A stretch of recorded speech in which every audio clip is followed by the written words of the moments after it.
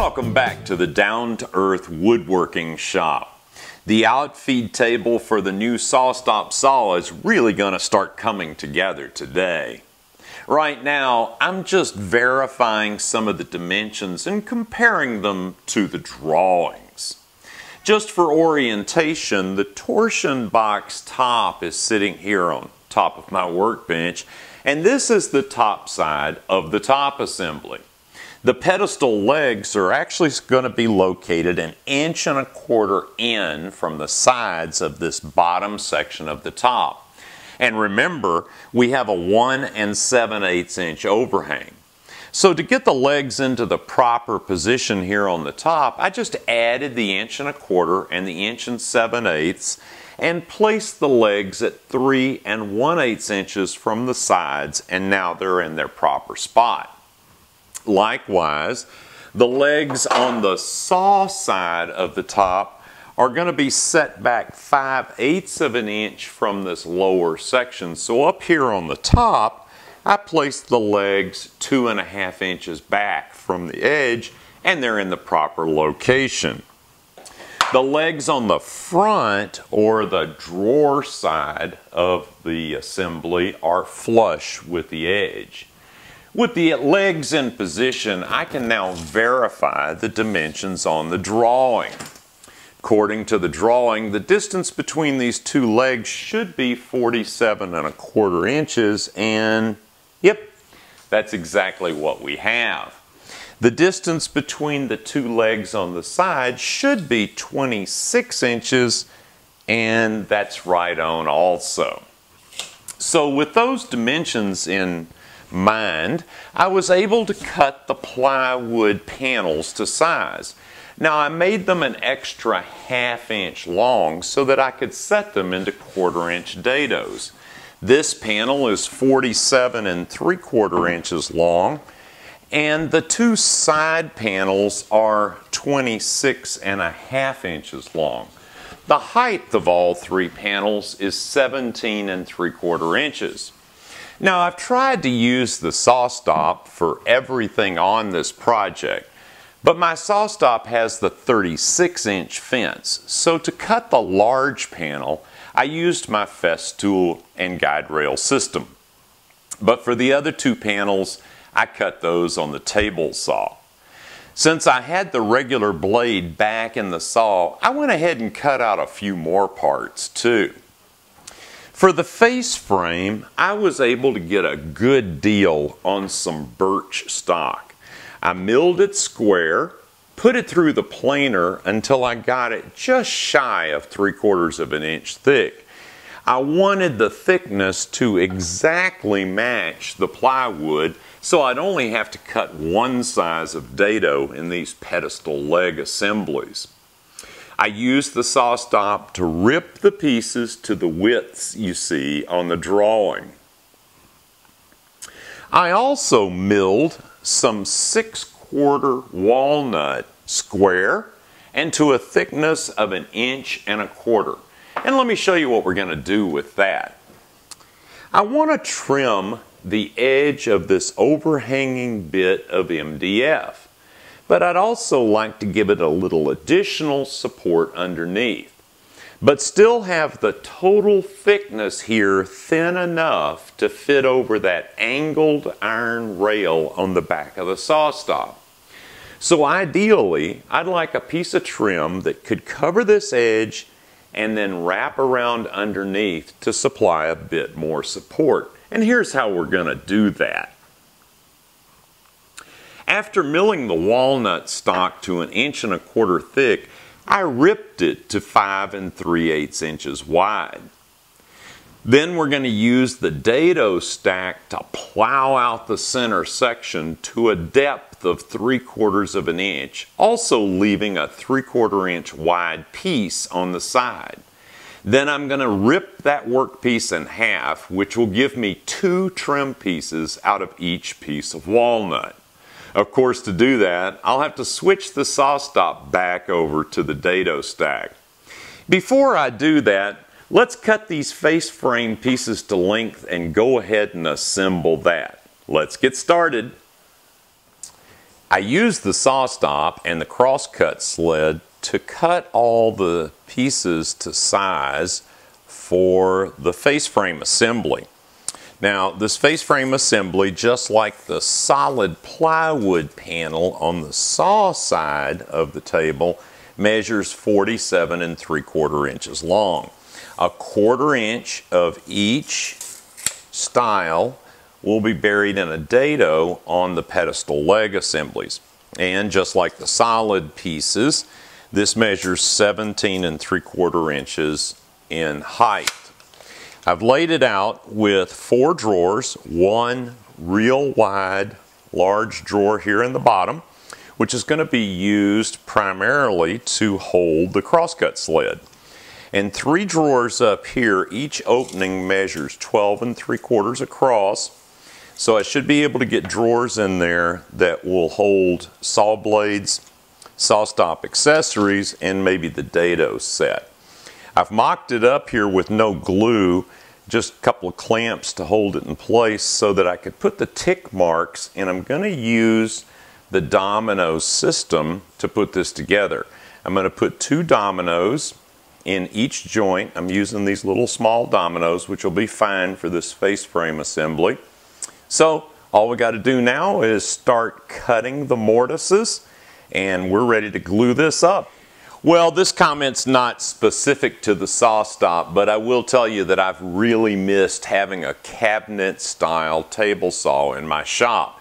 And the reason is, is because it gives you an additional work surface and that always comes in handy. So it's time to cut some mortises. Let's take a close-up look at that process. All right, now I'm fully aware that this is a little bit of overkill, but uh, just to keep things from shifting and to help me hold it, I always like to just provide a little bit of clamping on the pieces, particularly when I'm doing these end pieces here, and uh, make sure that it doesn't move.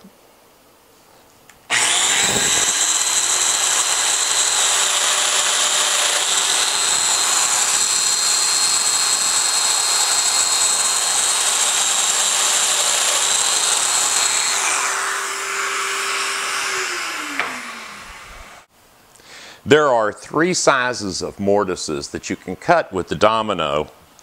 And in this end grain on each of these pieces, I'm cutting the smallest size. The uh, domino will just fit in these two. When I do the side grain on the other pieces, I'll use the medium sides uh, mortise to give me a little bit of wiggle room when assembling the face frame. Okay, now for cutting the mortises in the edge of the wood, I've just changed my little setup here a little bit to give myself a backer board so that when I press down on this, it won't slide backwards as I'm cutting these.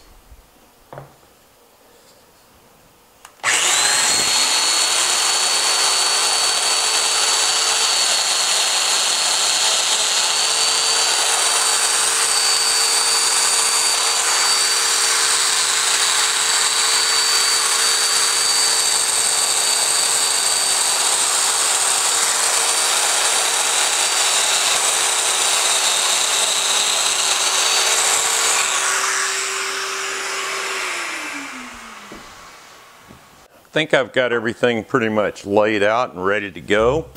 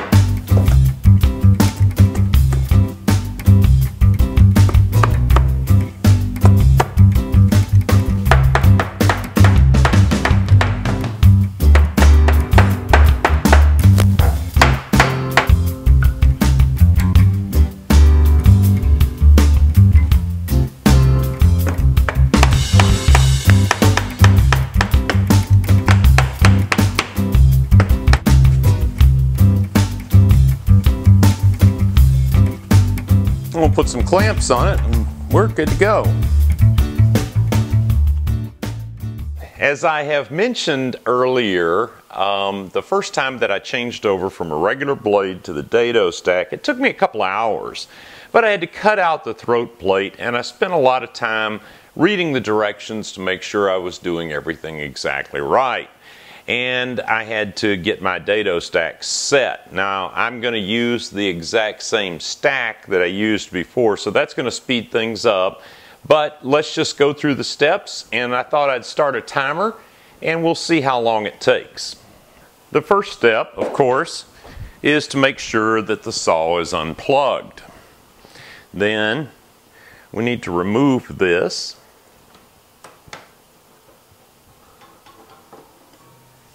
And we'll crank the blade up as high as it will go just to make things easier. And we need to remove our riving knife. And then we'll take off the blade.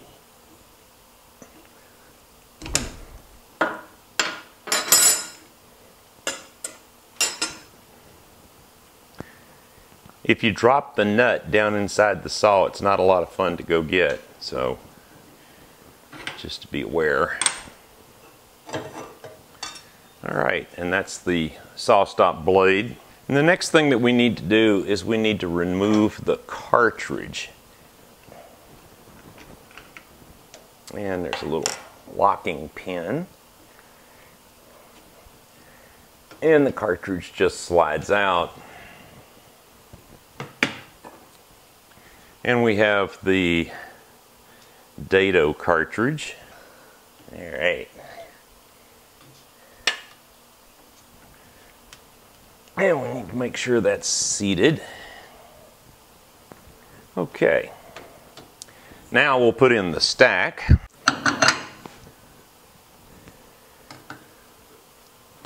There's two shims between these two chippers and they're magnetic shims. So these are staying together.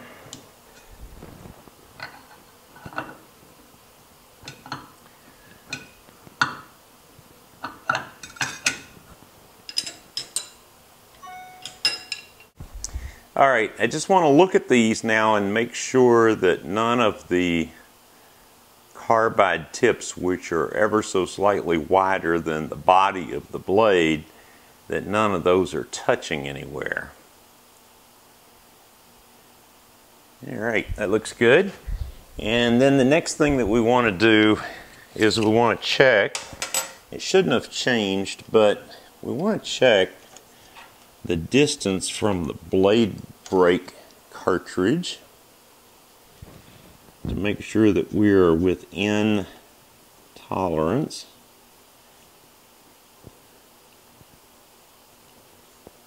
Yeah, that looks pretty good. Nothing is hitting, so that's good. All right, it's nice to clean up these uh, areas where the throat plate goes. And then we can install this.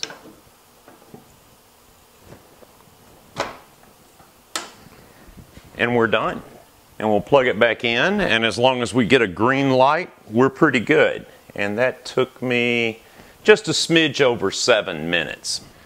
With the dado stack in, before I start cutting the dados in the pedestal legs for the other pieces, I want to go ahead and plow out the center of this walnut board to make our trim. I'm just going to use the same stack and just move the fence over. Now if you recall from the drawing, we need to start at 3 quarters of an inch from the edge and go all the way across to 3 quarters of an inch from this edge and we want to plow it 3 quarters of an inch deep. I'm only going to take about half that much in the first bite and then I'll come back, raise it up to the finished level and plow out the rest. So we're ready to make our first cut.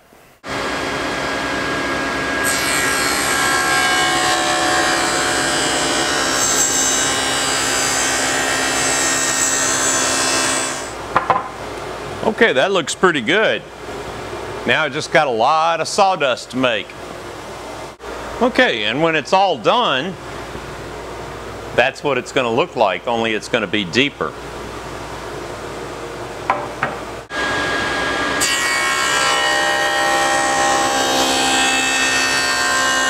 Okay, now it's time for the critical dimensions. I've adjusted the height to what I hope is three quarters of an inch, but I have a good little rule here to check it with.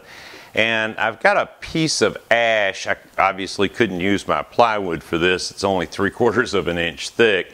So I'm just gonna push it in until I get a full depth of cut, and then we'll measure the depth of cut and make sure we're good to go.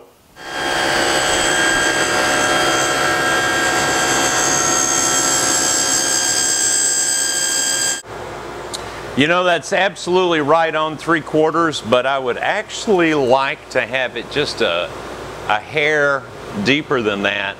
So if anything, the uh, trim is flush with the top or slightly above flush, and then I can plane it flush. So I'm gonna raise this just a tiny bit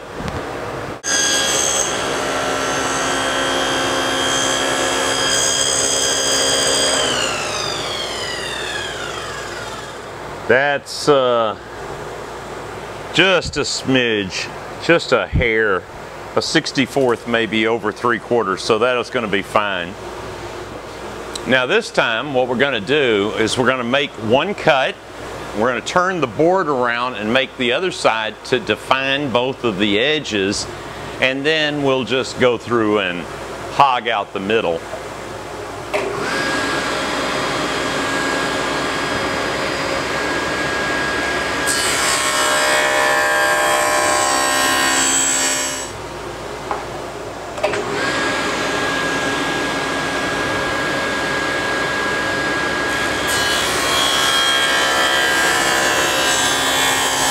I don't know if you can see this or not, but uh, if you've used a dado stack before, you know oftentimes you get these little fine line tracks. They're little raised tracks in between the chippers, I think where you have spacers is where those come from.